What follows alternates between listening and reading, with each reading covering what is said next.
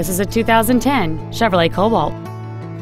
It has a 2.2 liter four cylinder engine and a four speed automatic transmission. Its top features and packages include the appearance package, a keyless entry system, XM satellite radio, a security system, a passenger side vanity mirror, a low tire pressure indicator, OnStar, rear curtain airbags, latch-ready child seat anchors, and this vehicle has fewer than 45,000 miles on the odometer.